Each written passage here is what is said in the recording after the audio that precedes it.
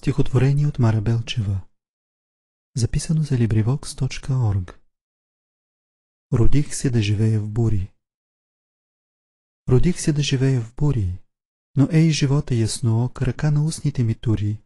Чуй, тихи изворе дълбок. Ми каза той и ме погледна. И в погледа му аз видях, в бистрината му победна, затихнали плач и смях. Край на стихотворението. что здесь записи общественного достояния.